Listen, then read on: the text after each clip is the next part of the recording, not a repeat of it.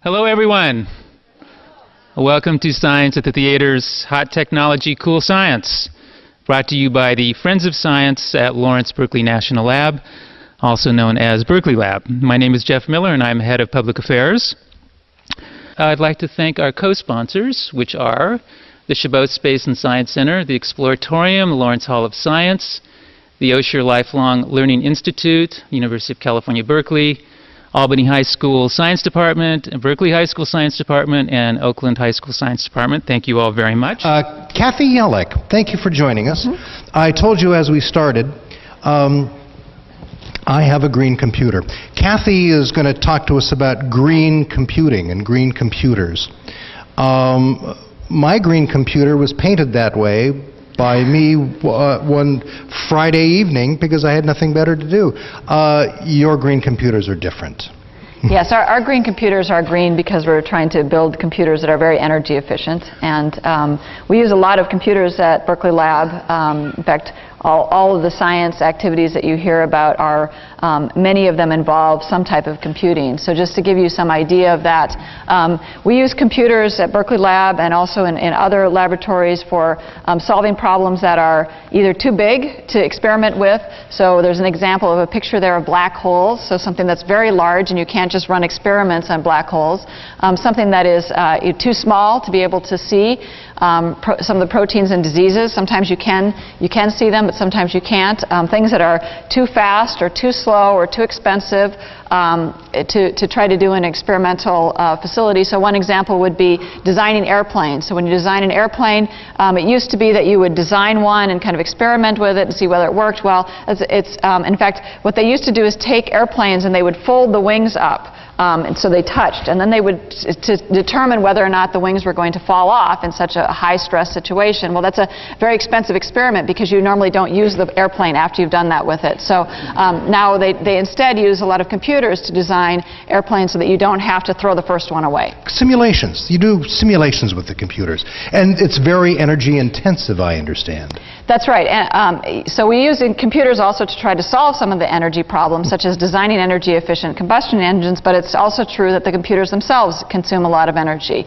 And um, so a, a uh, something that may, maybe those of you who are in the audience may not be familiar with trying to do computer simulations for problems like this, but um, you probably are very familiar with trying to do a Google search. And behind that Google search is a large data center um, that may consume 40 to 100 megawatts of power in order to run the computers in that facility, um, often uh, uh, built right next to a hydroelectric plant so that you can um, get, get a lot of power very easily. And that, that consumes um, a tremendous amount of energy behind all of the searches that people are doing. And the labs, the kind of computers that we use also consume a lot of energy to solve some of the very large um, computing problems that we have. And makes a lot of heat too, I understand. That's right. There's a lot of heat that's um, dissipated out of the computers. If you go into a, um, a computer room, of course, you have um, they're, they're, they tend to be very cold because there's a lot of air conditioning mm-hmm. used. And one of the things that um, we're trying to do is to make those computers more efficient so they don't dissipate as much heat. How, how do you do that? How do you make a computer more efficient? Gosh, my computer at home's got all these little itty bitty parts. How do you make it even smaller or better or faster?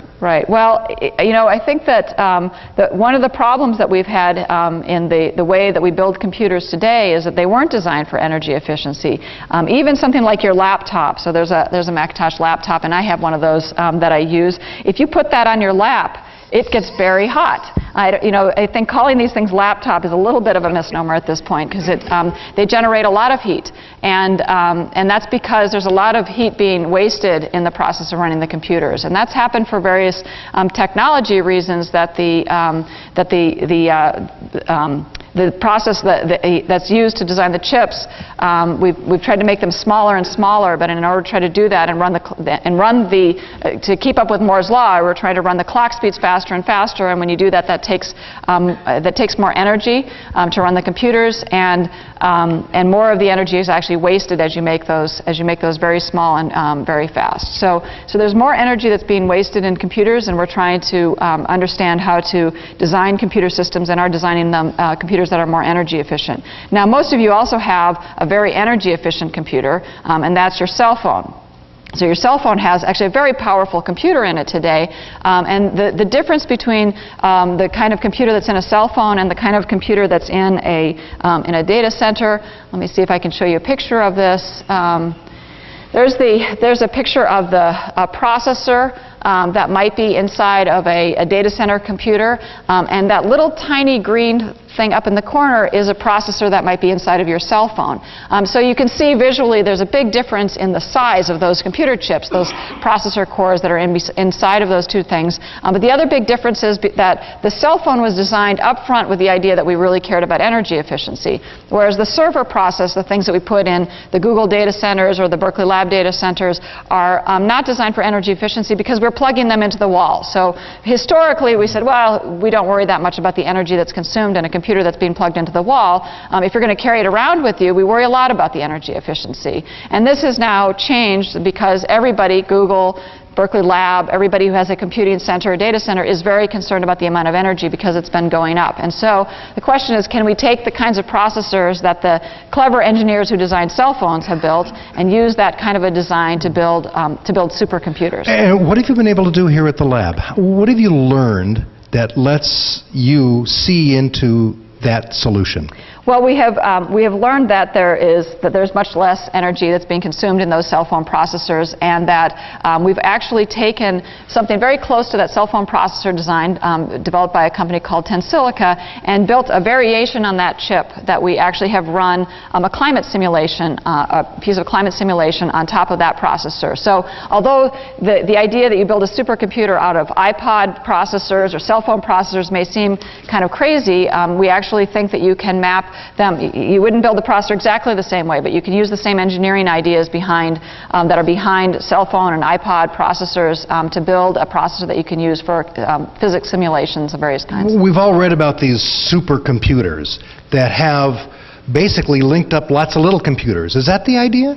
Yeah, so let me give you an example of a problem that we um, try to solve with um, supercomputers, and that is this, um, the climate modeling problem. So in some sense, everything we know about climate change, which you've all heard a lot about over the last year or two, um, has come from supercomputers because um, uh, before we had supercomputers that predicted climate change, change using simulations, um, we could look at the weather reports, we could say, well, it seems warmer this year than it was last year, but there was a lot of debate um, about whether or not it was actually climate change. And there were various theories about, you know, what was causing it. This is just a cyclic behavior or whatever. Um, but people built computer models that describe what's happening with the global climate change. They run those computer simulations forward for 100 or 200 years, and they can actually um, predict what's happening with the, with the climate. And that's all done on supercomputers because those are very large and complex um, simulations.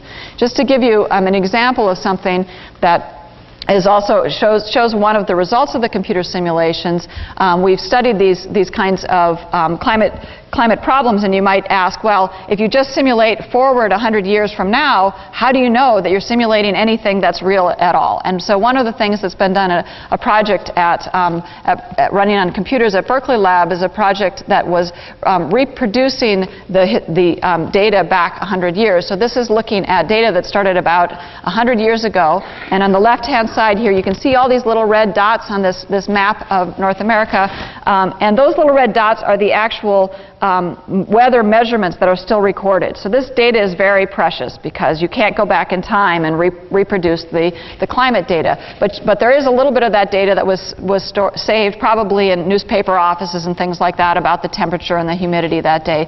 So that data was taken and then it was smoothed out to, to, to fill in all of the missing pieces of the data. Um, and then the simulation is run forward to, to see whether or not we see the kinds of effects that we know happened historically. So if you watch this movie here, It'll show a hurricane that happened in 1938, um, and on the left-hand side, you're seeing the, the simulation of that, um, that hurricane based on that weather data, and um, there's the actual hurricane over there, so you can see that the, the climate model actually reproduced um, this, this hurricane event. Hmm. Um, but in terms, of your, I guess your question was about um, doing this in parallel. So um, these supercomputers, how do, we, how do we build these kind of supercomputers? So this is a picture um, there on the left side of a supercomputer um, that we have at, at NERSC, which is uh, uh, the, the Scientific Computing Center at Berkeley Lab. Um, this is a, a, machine built by Cray, uh, one of the supercomputing companies, and um, you can't, this is one of the rows of the Cray machine, and you can see that it, it goes down a ways. Each one of those cabinets is filled with a lot of uh, processors, and there are many rows of that, so there's about 100 racks um, in that computer. And um, there's 38,000 processor cores. So um, if you were to go out and buy a laptop, you might buy a dual core processor or a quad core processor that's got two or four processors in it. This has 38,000 processors in it for solving these kinds of scientific problems.